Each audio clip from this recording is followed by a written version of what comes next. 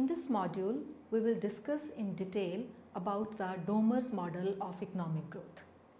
Evsey Domar published his work on capital expansion and growth in 1946, seven years later than a similar work by Roy Harrod.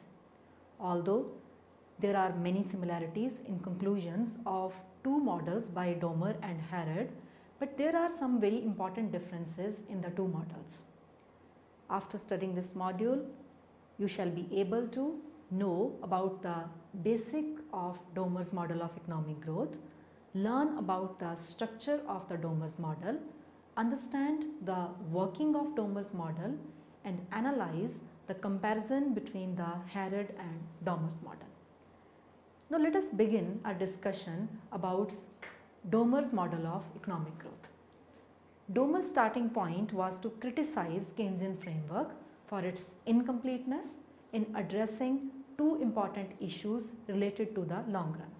Number one, Keynesian analysis considers investment only to be an income generating that is on the demand side instrument through the multiplier while ignoring the essential productive capacity changing that is the supply side or the role of investment. It is precisely because of this reason that Keynes assumed that employment of labor is a function of national income. But Domar points out that this is true only in the short run. He assumes that over time employment of labor is a function of ratio of national income to the productive capacity. The second important point is that Keynesian analysis while giving more importance to the need of full employment of labor almost ignores the issue of unemployment of capital which in turn becomes the source of labor employment. According to Domar, it is the premature obsolescence of capital equipment that discourages investment and growth thereby causing the labor unemployment. Now let us know the main assumption of the Domar's model. Number one, savings and investment refer to income of the same period.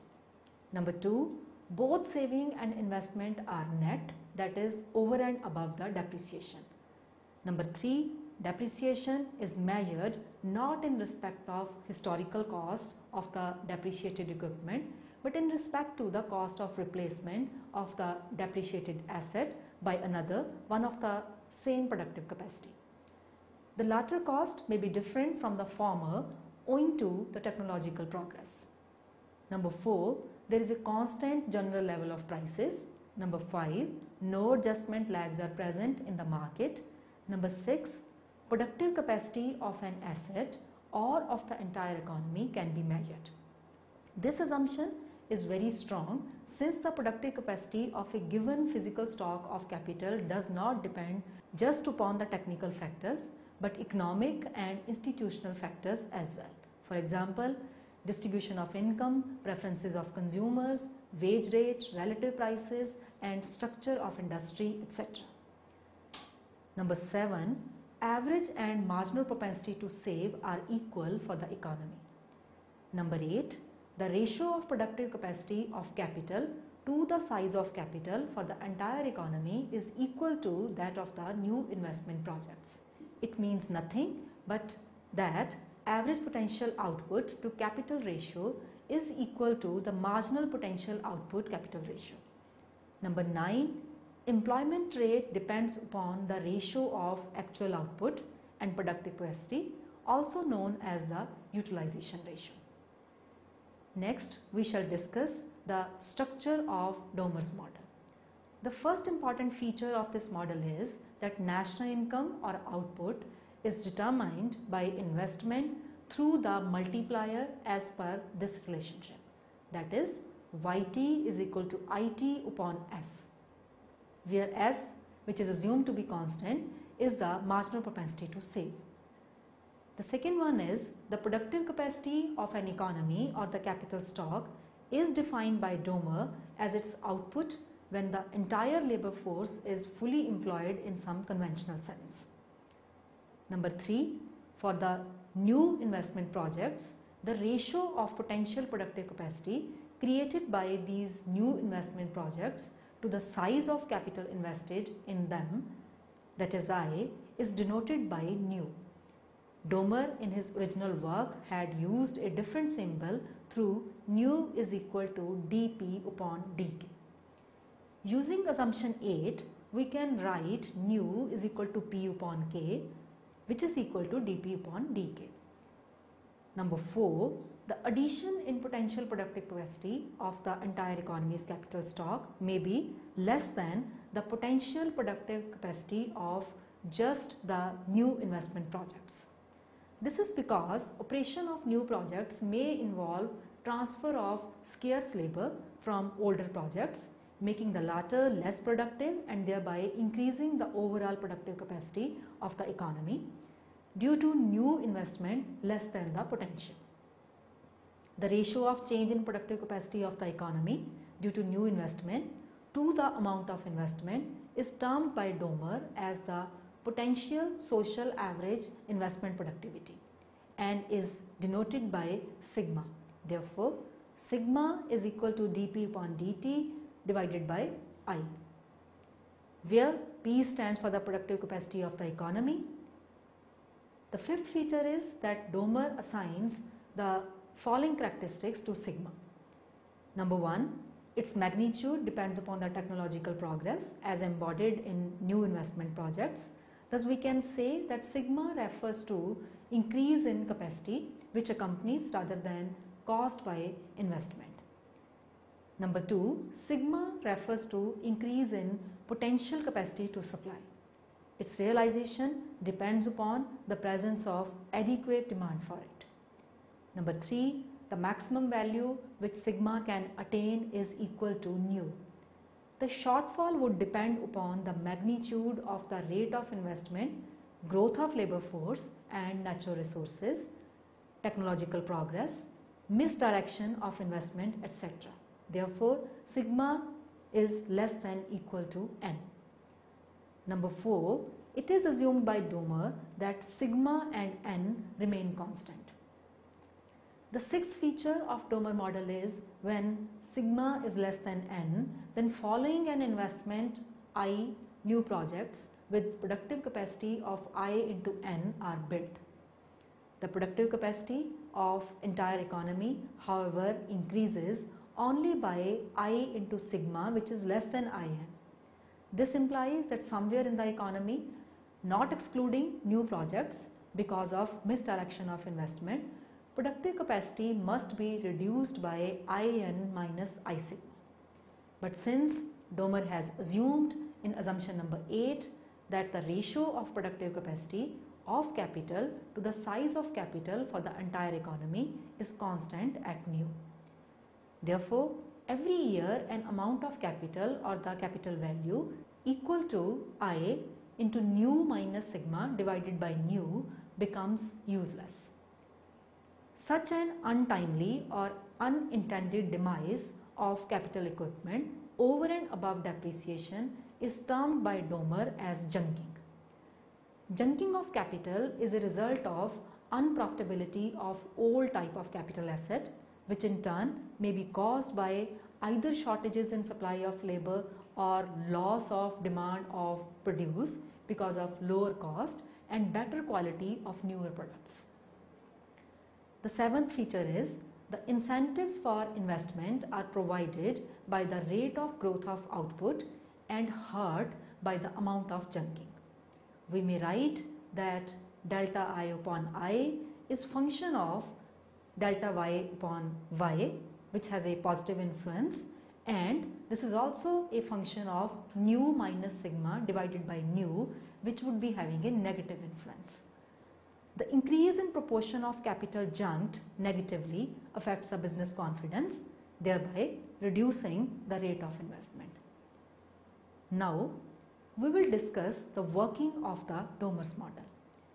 The question Harrod asks is that what must be the rate of growth of investment if the increase in productive capacity due to change in capital stock is to be exactly matched by the increase in output due to change in demand for investment so that the economy always remains in full employment of labor equilibrium over time. Rewriting equation 2 gives us the rate of change of productive capacity which is dp upon dt which is equal to I into sigma. Note that productive capacity increases so long as the net investment and the potential social average investment productivity are positive. The rate of growth of output is obtained by differentiating equation 1 with respect to time which is given like this dy upon dt is equal to di upon dt multiplied by 1 upon s. For simplification, Domar assumes that the economy is in equilibrium to begin with that is P0 is equal to Y0. The equilibrium condition then is that change in productive capacity equals change in output that is dp upon dt is equal to dy upon dt. Now substituting from 3 and 4 we obtain the equilibrium condition in this way 1 upon i multiplied by di upon dt is equal to s into sigma. This condition implies that equilibrium over time requires investment to grow at a constant and continuous rate which is equal to s into sigma.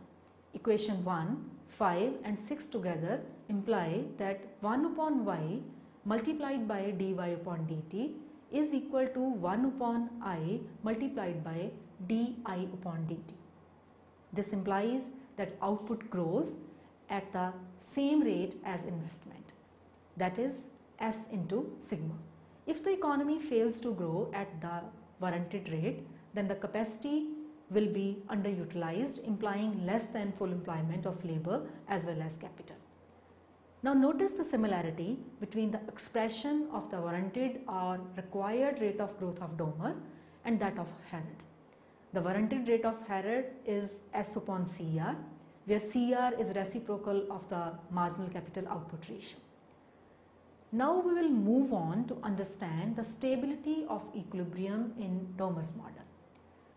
Domar only considers the question of downward stability of his equilibrium although not explicitly. According to Domar, even in the situation of no junking, if the investment ever fails to grow at the warranted rate, then the economy would progress towards depression because investors would further reduce the rate of investment following developed unused capacity due to fall of output below productive capacity. The situation becomes even grimmer in the case of junking. Under this situation, the business confidence would be negatively affected despite the fact the economy is on the equilibrium path that is P is equal to Y. This owes to be junking of capital following new investments.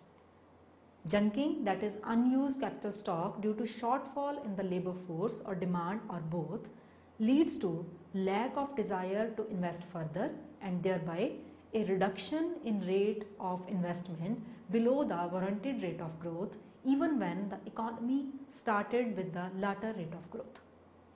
One way Domar points out that in which entrepreneur will react to a high unused capacity would be by decreasing the real wage rates and thereby increasing their share of profits. However, this move since capitalists have a higher saving rate than the rest would lead to increase in savings rate of the economy as a whole and thus the warranted rate of growth making it even more difficult to achieve the warranted rate and thereby further building of excess capacity. Now we can discuss about the conclusions of the Domar's model. Without junking or unwanted scraping of capital, the income investment, productive capacity and capital stock can grow at the warranted rate of growth S into sigma ensuring the full employment of both labor and capital. Secondly, with junking of capital every year the economy would move towards acute depression. Thirdly, it is the unused capital equipment that endangers the attainment of full employment equilibrium in the economy. Now let us look into the comparison between Harrod's and Domar's model. As we have discussed, the two models are similar in many ways. Number one, for both the economists, the started point is to make the Keynesian framework dynamic. Number two, both have assumed to some extent the constancy of capital output ratio that is CR in case of Harrod and its inverse the related capital output ratio that is sigma in case of Domar. Number 3 both obtain constant growth paths. Number 4 both assume that output follows demand thereby implying that output can fall below potential leading to entrepreneurial reaction of change in rate of investment. Number 5 both conclude a grimmer future if ever the economy diverges from its unstable equilibrium path. Although similar on many broad counts, the two differences in model can be summarized in this way. The first issue is that of key concept. Domar has stated that rate of growth which equate output to productive capacity ensuring full employment of labor but if junking is present it is possible with less than full employment of capital. While in Harrod model equilibrium rate of growth for entrepreneurs which requires full employment of capital but is compatible with less than full employment of labor. The second issue is related with long run problem. In case of Domar model, junking of capital, decreasing the rate of investment below the warranted, while in case of Harrod model, labor shortage not allowing economy to such warranted rate of growth. The third issue is related with feature of the economy. In Domar model, we talk about unused capacity. In Harrod model, we talk about less than full employment of labor. The fourth issue is that of role of labor. In Harrod model, shortages lead to junking of capital and thus negatively affect the rate of investment. While in Harrod model, it determines the natural rate of growth which is a cap on the rate of growth an economy can achieve. The fifth issue is that of causes of instability. In Harrod model, continuously decreasing investment incentive due to increasing used capacity. While in Harrod's model, process of adjustment which results in expected rate of growth diverge further and further from the warranted rate of growth. The sixth issue is related with causes of fixed capital output ratio. While Domar has taken the simplification assumption, but the Harrod model talks about fixed relative rate of interest and thus fixed capital labor ratio combined with CRS. Now let us summarize what we have discussed in this module. Keynesian analysis considers investment only to be an income generating that is from demand side instrument through the multiplier while ignoring the essential productive capacity changing that is from the supply side the role of investment. Keynesian analysis while giving over importance to the need of full employment of labor almost ignores the issue of unemployment of capital which in turn becomes the source of labor unemployment productive capacity of an economy or say the capital stock is defined by Domar as its output when the entire labor force is fully employed in some conventional sense. The ratio of change in productive capacity of the economy due to new investment to the amount of investment is termed by Domar as the potential social average investment productivity and is denoted by sigma. The incentives for investment are provided by the rate of growth of output and hurt by the amount of junking.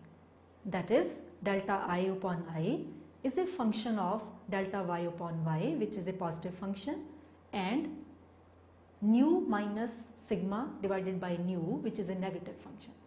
The increase in proportion of capital junked negatively affects the business confidence thereby reducing the rate of investment.